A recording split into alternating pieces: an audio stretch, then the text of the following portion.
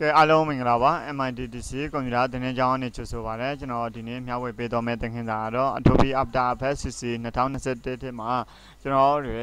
ဒီ plugin ရှေ့ဆက်တဲ့နည်းလမ်းလေးကိုကျွန်တော်ဒီဗီဒီယိုသင်ခန်းစာဖိုင်လေးထဲမှာရှင်းပြပေးတော့မှာဖြစ်ပါတယ်အရင်ဆုံးကျွန်တော်တို့ရဲ့သင်ခန်းစာကိုမစတင်ခင်မှာကျွန်တော်တို့ရဲ့ YouTube channel ကို subscribe လေးလုပ်ထားပေးဖို့တောင်းဆိုပါတယ်ဒီ YouTube channel ကနေတင်ပေးနေတဲ့သင်ခန်းစာလေးတွေကအကျိုးတစ်စုံတစ်ခုရှိခဲ့မယ်ဆိုရင်လည်း like and share လေးဖြင့်အပ်ပေးနိုင်ပါတယ်ကဲဒါဆိုရင်တော့အခုကျွန်တော်ကဒီ ZHP installer ရယ်နောက်ပြီးတော့ဒီအဲ motion factory ရယ်ပေါ့နော် motion factory plugin ရယ် motion factory setter ရယ်ပေါ့နော်အဲ့ဒါဆိုရင်ဒီပထမဆုံးကျွန်တော်တို့ install လုပ်ပေးရမှာဒီ ZHP installer ကို right click ထောက်ပြီးတော့အဲ extra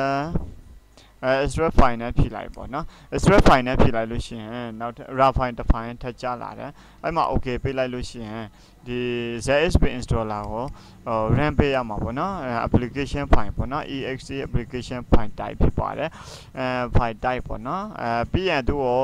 double click နှိပ်ပြီးတော့ run လို့ရပါတယ်အဲ run တဲ့အခါမှာ modify လက်သူကနော်အဲ modify setup and close လုပ်လိုက်ပါနော် are you sure you want to cancel no နော်ကျွန်တော်တို့ uninstall လုပ်မလားဘာလုပ်မလဲသူကပြောတာပေါ့နော် uninstall ဆိုတာဖြုတ်ထုတ်တာဖြစ်ပါတယ်ကျွန်တော်အဲ့လိုဆိုရင်ဒီနေရာမှာ ZSP ဆိုတာရှိပြီလားပေါ့နော် ZSP အဲ ZSP installer မရှိသေးဘူးเนาะအဲ ZSP installer မရှိသေးဘူးဆိုရင်ကျွန်တော်တို့ကဒီနေရာမှာအဲ uninstall ရှိတယ်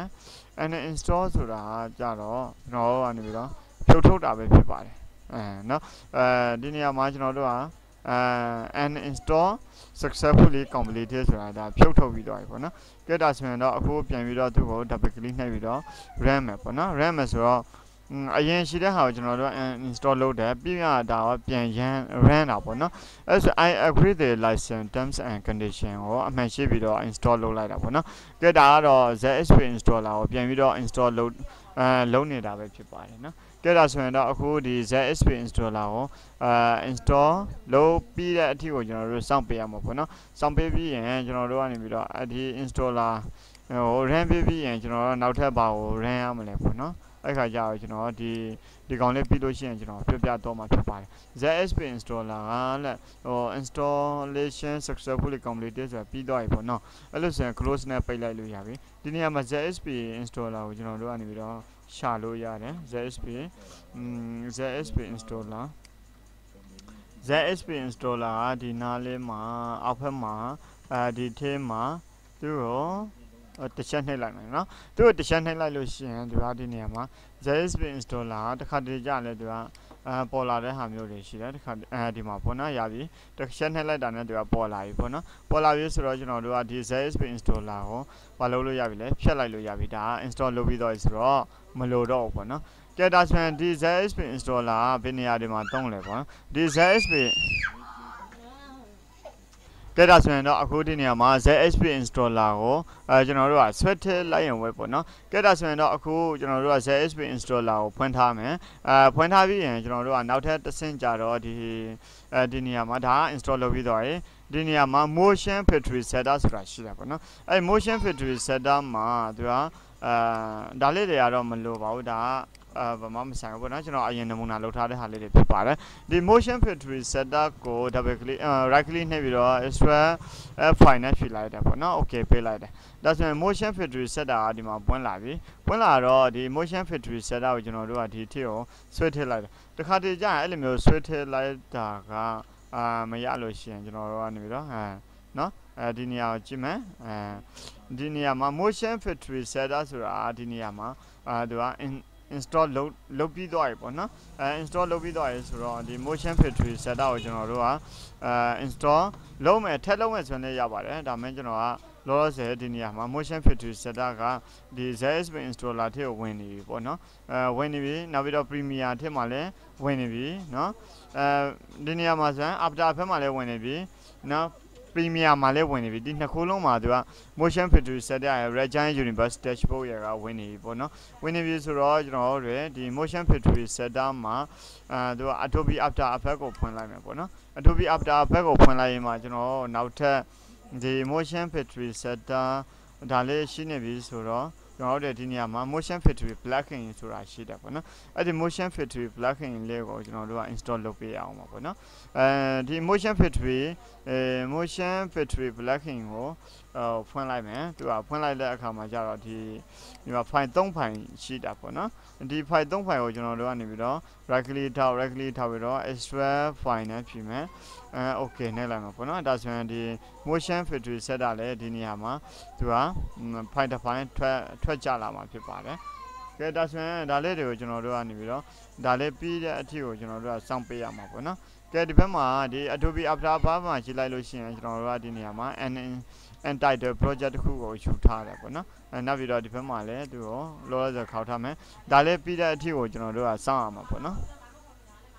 ဒါလေးပြီးတဲ့အထိကိုကျွန်တော်တို့ကစောင့်မယ်စောင့်ပြီးရင်ကျွန်တော်တို့မလုပ်မလဲဆိုတော့သူကိုအဲဒီထွက်လာတဲ့ file လေးတွေကို install အဲထွက်လာတဲ့ file လေးတွေကို install လုပ်ပေးရမယ်အဲဒီနေရာမှာသူ့ကိုဖွင့်လိုက်တယ်သူ့ကိုဖွင့်လိုက်တဲ့အခါမှာကြာတော့ကျွန်တော်ကပေါ့နော် ဒီ motion factory setter မှာအဲဒီမှာဆိုရင် motion factory setter တခုရှိတယ်အဲပြီးရင်ဒီကောင်လေးရောကျွန်တော်တို့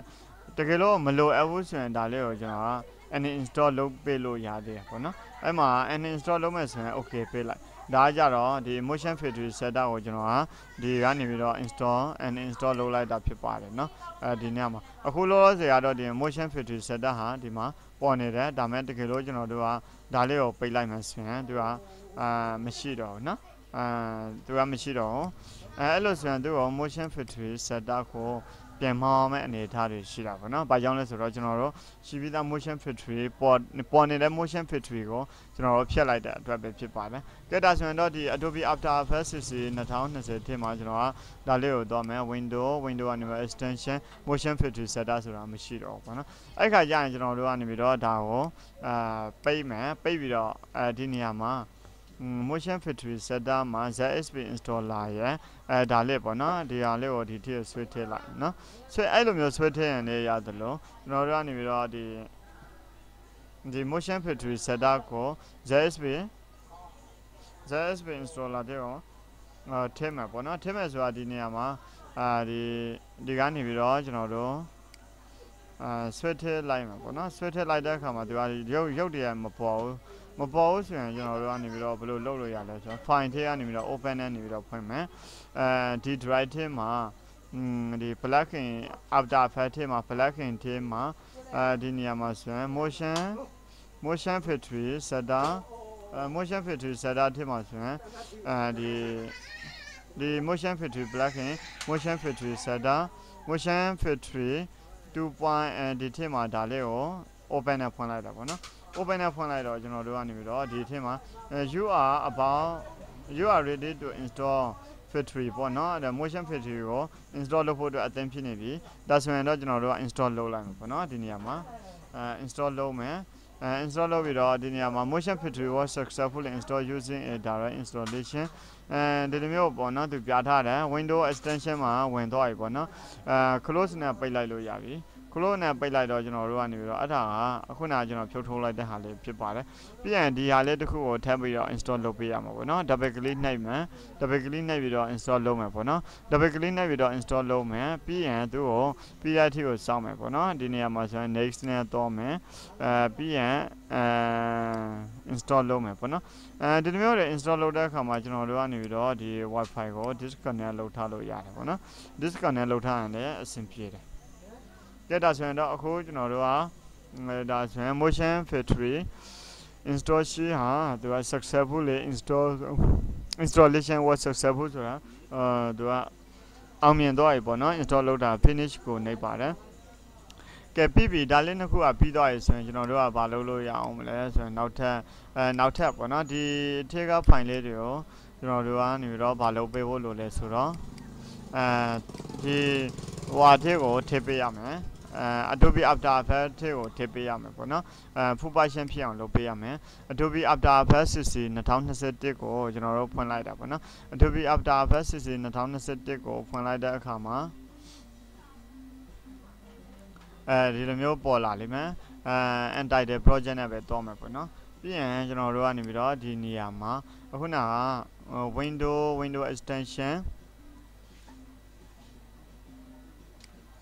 motion factory ဆိုတာရှိတာပေါ့နော်အဲ့ motion factory ဆိုတဲ့ဟာလေးကိုကျွန်တော်တို့ကနေပြီးတော့ဘာလုံးမလဲဆိုတော့အခုနာဒီ type beta ရယ်အဲဒီမှာကြည့်လိုက်မှဆိုရင်ဟိုဟာပေါ့နော်အဲ type beta ရယ် particle ရယ် height ရယ် glitch beta ရယ်ပေါ့နော်အဲ့ဒါလေးတွေရှိတာပေါ့နော်အဲ့ဒီအဲ့ဒီဟာလေးတွေကိုကျွန်တော်တို့ကနေပြီးတော့ဘာလုပ်ပြရမလဲဆိုတော့ action beta เนาะအဲလောလောဆယ်ကျွန်တော်ကဒီထေးက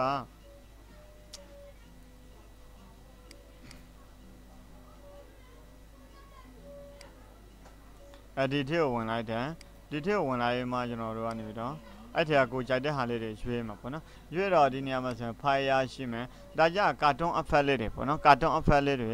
ဒီဘက်မှာဆိုရင် real effect လေးတွေရှိတယ် real ဘက်မှာဆို fire ရှိတာပေါ့နော်အဲ့ဒီ fire တွေက lock ခတ်ထားတယ်သူကနော်အဲ့လို့ဆိုရင်အဲ့ဒီ lock ခတ်ထားတဲ့ဟာတွေကိုကျွန်တော်တို့ကဘယ်လိုဖြည့်ရှင်းလို့ရလဲဒီ law တွေကိုဘယ်လိုဖြည့်ရှင်းလို့ရလဲဆိုတော့ဒီမှာ dashboard ဆိုတာရှိတယ်အဲ့ဒီ dashboard ကိုကျွန်တော်တို့ဝင်လိုက်လို့ရှိရင်ဒီနေရာလေးမှာပေါ့နော်ဒီ dashboard ထဲမှာဆိုရင်မင်းမင်းတို့ကဘာဝင်နေပြီးတော့ဟိုဟာ profession ဖြစ်အောင်လုပ်မလဲဘာကိုအသုံးပြုလို့ရအောင်လုပ်မလဲဆိုတော့ကျွန်တော်တို့ကဒီမှာဆိုရင် h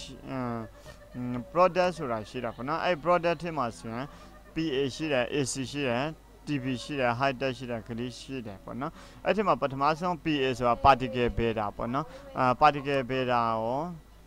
ကြည့်လိုက်လို့ရှိရင်သူက starter ကတော့ install လုပ်ထားတယ်ကျန်တဲ့သုံးခုကတော့ install မလုပ်ရသေးဘူးပေါ့နော်ဒါကြတော့ PA beta ဖြစ်ပါတယ်အဲ့လိုဆိုရင်ကျွန်တော်တို့ကနေတော့ install from file ဆိုပြီးတော့ယူရမှာပေါ့နော် PA install from file install from file ဆိုတော့ဘယ် file ကနေယူမှာလဲကျွန်တော်ကဒီ drive ထဲမှာတင်ထားတာပေါ့နော်အဲ့လိုဆိုရင်2021ထဲမှာ AA plugin ထဲမှာအဲ AA plugin ထဲမှာအဲဟောဒီထဲမှာပေါ့နော်နောက် motion factory plugin ထဲမှာအဲ motion factory အဲ့မှာ motion factory plugin ထဲမှာငါ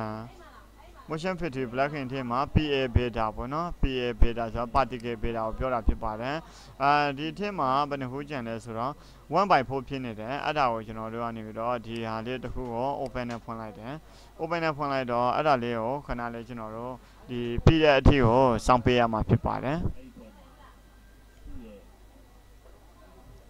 ကဲဒါဆိုရင်တော့ close နဲ့ပိတ်လိုက်လို့ရပြီပေါ့နော် close နဲ့ပိတ်လိုက်တဲ့အခါမှာ PA beta ကတချို့ဟာတွေကကြတော့2.4ဖြစ်သွားတယ်ပေါ့နော်2.4ဖြစ်သွားရင်နောက်ထပ်တစ်ခု install လုပ်မယ်ဒီအောက်က sample ကို open နဲ့ဖွင့်လိုက်တယ် sample ဆိုတာဒါလေးတွေကိုပြောတာဖြစ်ပါတယ်ဒါလေးတွေက full version ဖြစ်လို့ရှိရင်သူက law လေးတွေပျောက်သွားတယ်အဲ့ဒါ sample နော်အဲ့လို့ဆိုရင်ဒီနေရာမှာအခုဘယ်နှမျိုးရတော့ရလဲဆိုတော့အဲဒီမှာ 3/4ဖြစ်သွားပြီပေါ့နော်3/4ဖြစ်သွားပြီဆိုတော့နောက်ထပ်တစ်ခုကပါတော့ပေါ့နော်နောက်ထပ်တစ်ခုကပါလဲဆိုတော့အဲဒီထဲမှာ elemental ပေါ့နော် elemental gear ပေါ့နော် install from file elemental ကိုတော့မယ် elemental မှာ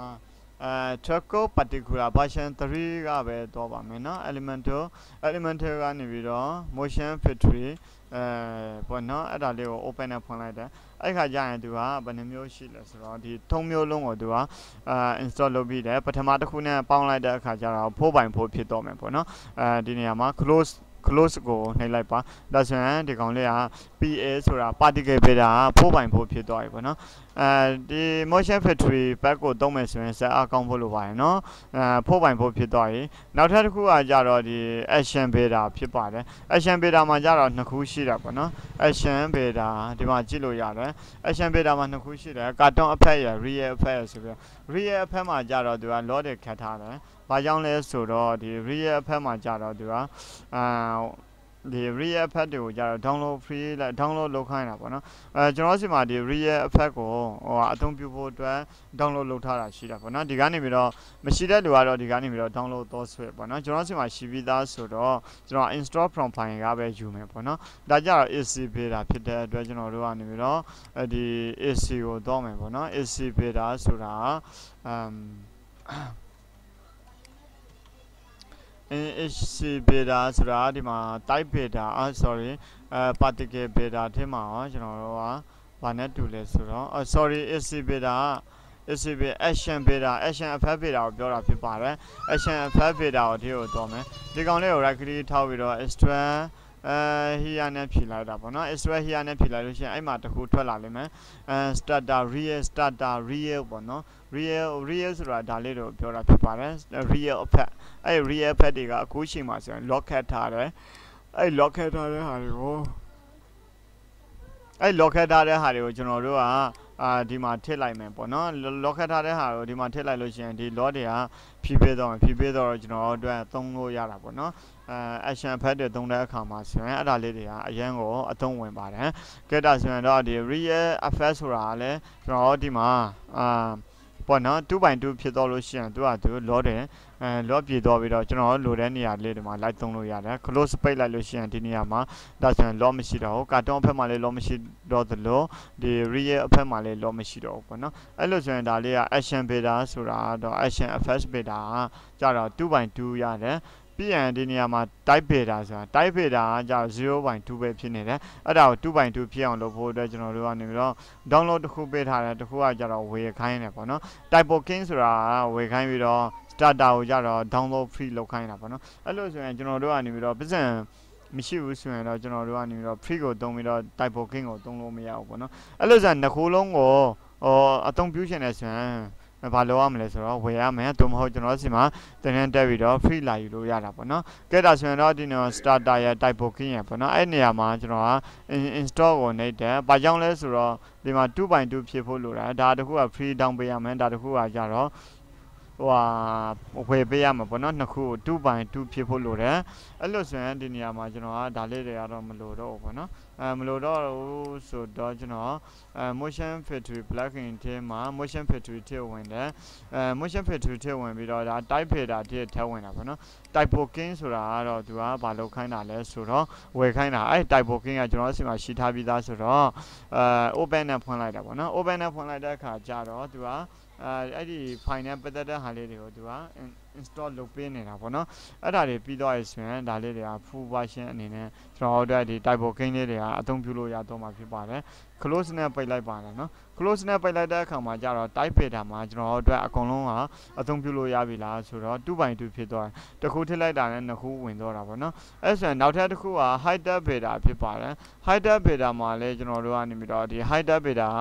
ကျွန်တော်အသုံးပြုလို့ရလာပေါ့နော်အော့ကိုတော့ကြည့်အောင်အော့ကိုတော့ကြည့်တဲ့အခါမှာတချို့ဟာတွေကအသုံးပြုလို့ရတယ်တချို့ဟာတွေကအသုံးပြုလို့မရဘူးအဲ့လိုမျိုးလေးရှိတာပေါ့နော် complex ရှိတယ် complex မှာဆိုရင်တချို့ဟာတွေကမရဘူးတချို့ဟာတွေကကြတော့ရတယ်တချို့အရေးမကြီးတဲ့ဟာမလာတဲ့ဟာဆိုရင်တော့အာရတယ်အရေးကြီးတဲ့ဟာပေါ့နော်လာတဲ့ဟာတည်တဲ့ဟာတွေဆိုရင်တော့မမရဘူးအဲ့ဒါလေးတွေကိုဝယ်ပေးရတာပေါ့နော်အဲ့လိုဆိုရင်ကျွန်တော်တို့ကဝယ်မသုံးရင်ဘူး ဟိုပေါ့နော်ပတ်စံလည်းမရှိဘူးဆိုရင်ကျွန်တော်စီမှာတင်နေတက်ပြီးတော့လာယူလို့ရပါတယ်ဒါတွေကကြတော့ free pay တာပေါ့နော်ကြည့်တာဆိုရင်တော့ဒီနေရာမှာ high tab pay တာကိုကျွန်တော်တို့က1.2ဖြစ်နေတယ်အဲ့ဒါကို2.2ဖြစ်အောင်လုပ်ပေးဖို့အတွက်သူ့ကိုอืม select မှတ်တယ် select မှတ်ပြီးတော့ဒီနေရာမှာ starter ကို install လုပ်ထားပြီးပြီးတော့ content pack ကိုကြတော့ဝယ်ခိုင်းတာပေါ့နော်အဲရောင်းစားတာပေါ့နော်တနည်းပြောမယ်ဆိုရင်အဲ့ဒါလေးတွေကိုကျွန်တော်တို့ကနေပြီးတော့ဒီ high tab beta ထဲမှာ install ထည့်မယ်ပေါ့နော် install ထည့်မယ်ဆိုတော့ကျွန်တော်တို့က high tab beta ထဲကိုဝင်တယ် တခုကို select မှတ်ပြီးတော့ open နဲ့ဖွင့်လိုက်တယ်တခုကို select မှတ်ပြီးတော့ open နဲ့ဖွင့်လိုက်တဲ့အခါမှာသူကအဲဒီကျွန်တော်တို့ရဒီမှာတခါတည်းထည့်ပေးတော့တာပေါ့နော် close နဲ့ပိတ်လိုက်လို့ရှိရင်ဒါတွေအကုန်လုံးကဘာဖြစ်သွားပြီလဲဆိုတော့ full version ဖြစ်သွားပြီဆိုတော့ကျွန်တော်တို့အတွက်ကိုလိုချင်တဲ့နေရာလေးတွေမှာအသုံးပြုလို့ရတော့ဖြစ်ပါတယ်ကဲဒါဆိုရင် type beta ကိုလည်းကျွန်တော်တို့ကအသုံးဟိုဟာ full version ဖြစ်အောင်လုပ်ပြီးသွားတယ်နောက်တစ်ခုက glitch ဖြစ်ပါတယ်ဒီနေရာမှာ glitch ဆိုတာလေးရှိသေးတာပေါ့နော်အဲ့ glitch မှာလည်းဒီ 3D ဘိုင်းနဲ့ပတ်သက်လာလို့ရှိရင် lock ခတ်ထားတာကိုတွေ့ရမှာဖြစ်ပါတယ် analog ရှိတယ် analog မှာလည်း lock ခတ်ထားတယ် channel channel မှာလည်း lock ခတ်ထားတယ်ပေါ့နော်အဲ့ဒါကဘာလို့လဲဆိုတော့တချို့ကဖေးသုံးပြီးတော့တချို့ကကြတော့အာဘာလို့ခိုင်းလဲဆိုတော့ဒီတချို့ကကြတော့အသုံးအမ် အသုံးပြုဖို့အတွက်ဝယ်ခိုင်းတာပေါ့နော်ဝယ်ခိုင်းတယ်ဆိုတော့ရောင်းစားတာပေါ့သူကနော်ကျွန်တော်အဲ့လိုဆိုရင်ပတ်စံရှိတဲ့လူတွေကတော့ဒီကနေပြီးတော့တော့ဝယ်ပါပတ်စံမရှိတဲ့လူတွေကတော့ကျွန်တော်စီမှာတင်းတင်းလာတက်ပြီးတော့ free လက်ဆောင်ယူလို့ရတယ်ပေါ့နော်အဲ့လောက်ထိကျွန်တော်ကလည်းအများကြီးပေးထားပါတယ်အဲကျွန်တော်စီမှာတင်းတင်းလာတက်တဲ့ចောင်းသူចောင်းသားတွေပေါ့နော်ကဲဒါဆိုရင်တော့အခုဒီမှာ starter ရဲ့အဲ glitch pay glitch pay ရပေါ့နော်အဲ့ဒီက install from file ဆိုတာကိုနှိပ်လိုက်အောင်နှိပ်ရမယ် install from file ကိုနှိပ်ပြီးတော့ကျွန်တော်တို့ရဲ့ glitch beta ထိဝင်တယ် glitch pack ကို open နဲ့ဖွင့်လိုက်တယ် glitch pack ကို open နဲ့ဖွင့်လိုက်တဲ့အခါမှာဒီဒါလေးတွေက load တွေပျောက်သွားပြီးတော့ဒီ 3D မှာလည်း load တွေပျောက်သွားလိမ့်မယ်ပေါ့နော်အဲ့လိုဆိုရင်ဒီဒီ glitch beta ရော glitch beta ရော အဲ action beta ရော high tab beta ရော particle beta ရော type type beta ရောပေါ့နော်အဲ့ဒါလေးတွေအကုန်လုံးဟာကျွန်တော်တို့အတွက်အဲဖူပါရှင်ဖြစ်သွားပြီပေါ့နော်ဖူပါရှင်ဖြစ်သွားပြီဆိုတော့ကျွန်တော်တို့ဒါတွေရောသုံးလို့ရပြီလားပေါ့နော်အဲသုံးလို့ရပြီလားဆိုတော့သုံးလို့ရပါပြီအဲကျွန်တော်တို့ဒီဥမာလီယန်တစ်စီးကိုကျွန်တော်တို့ကအာဘုံဖောက်ခွင့်မယ်ဘာညာလှုပ်ရှင်နေဆိုရင်လည်းလှုပ်လို့ရတယ်အဲဒီနေရာမှာဒီ effect control ကိုကျွန်တော်ကနေပြီးတော့ဒီ glitch ကိုမသုံးတော့ဘူးပေါ့နော်မသုံးတော့ဘူးဆိုရင်သူ့ကို delete လုပ်လိုက်မယ်အဲ့လိုဆိုရင်ဒီလိုမျိုးပြင်ကြားလာမယ်အဲ့လိုမျိုးမှာကျွန်တော်ကဒီ real effect တစ်ခုကိုထိချင်တာပေါ့နော် real effect တစ်ခုကိုထိချင်တာမို့လို့ကျွန်တော်ကဒီနေရာမှာอืมအဲဒါလေးတစ်ခုထည့်မယ် create ထည့်လိုက်မှာပေါ့နော် create ထည့်လိုက်တဲ့အခါမှာတချို့ set တွေကြတော့အမနိုင်လို့ရှိရင်တော့ပြုတ်ကျသွားတတ်တယ်နော်အဲ့လိုဆိုရင်ကျွန်တော်တို့ကနေပြီးတော့ဒီနားလေးမှာကဲဒီကောင်လေးကိုဒီဘက်ရွှေ့ထားလိုက်မယ်ဒီဘက်ရွှေ့ထားလို့ရှိရင်ကျွန်တော်ဒီနေရာမှာ real effect ကိုပလေးကြည့်မယ်ဟောဒါမျိုးလေးတွေပေါ့နော်အဲ့ခါကျရင်ကျွန်တော်တို့ကဒီအဲဒီနေရာလေးကိုလာမယ်ဒီနေရာလေးကိုလာပြီးတော့အဲ့ဒီ real effect နော် action fader action fader ကိုကျွန်တော်တို့ကနေပြီးတော့ထည့်မယ်ယူသုံးမယ်ပေါ့နော်အာ real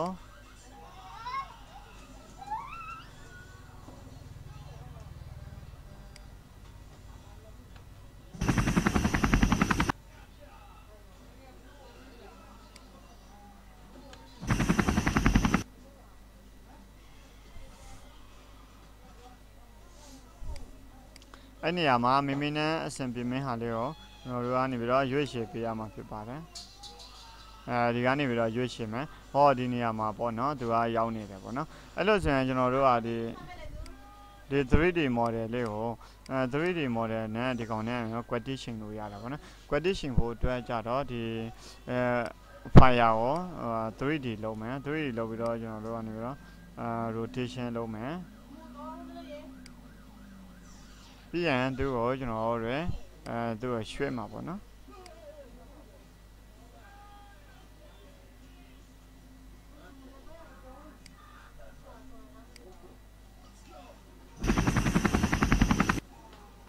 အဲဒါမျိုးလေးတွေအသုံးပြုလို့ရပါတယ်ဟော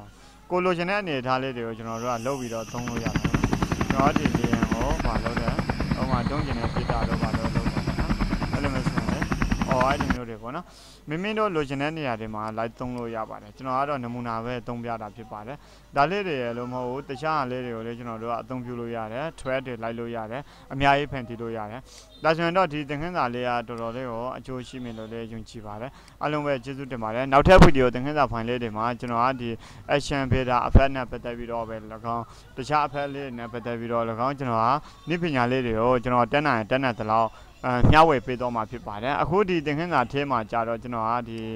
အဲဒီနေရာမှာအခုဒါလေးဒီဟာလေးတွေကို emotion factory plugin ကိုဘယ်လိုမျိုး install လုပ်အောင်မလဲပေါ့နော်အဲနောက် action beta ကိုဘယ်လိုမျိုး install လုပ်အောင်မလဲအဲ့ဒါလေးတွေကိုကျွန်တော်က နောက်ပြီးတော့ဒီ motion factory setter ပေါ့နော်အဲ့ဒါလေးတွေကိုလည်းကျွန်တော်တို့လည်းဘယ်လို install လုပ်အောင်မလဲ ZSP installer ကိုလည်းဘယ်လို install လုပ်အောင်မလဲဆိုတဲ့သင်ခန်းစာလေးကိုဒီ video သင်ခန်းစာ file လေးတွေမှာကျွန်တော်ရှင်းပြပေးတော့တာဖြစ်ပါတယ်နောက်ထပ် video သင်ခန်းစာ file လေးတွေကိုလည်းကျွန်တော်နောက်ထပ် video သင်ခန်းစာ file လေးတွေမှာလည်းကျွန်တော်ရဲ့သင်ခန်းစာလေးတွေကိုအမြဲတမ်းအတက်အဆုံးအချိန်ရရင်ရသလိုမျိုးရှင်းပြပေးတော့မှာဖြစ်ပါတယ်ကျွန်တော်တို့ YouTube channel ကို subscribe မလုပ်ရသေးဘူးဆိုရင် subscribe လုပ်ပေးဖို့တောင်းဆိုပါတယ်အားလုံးပဲကျေးဇူးတင်ပါတယ်နောက်ထပ် video သင်ခန်းစာ file မှာပြန်လည်ဆုံတွေ့ကြပါမယ်အားလုံး bye bye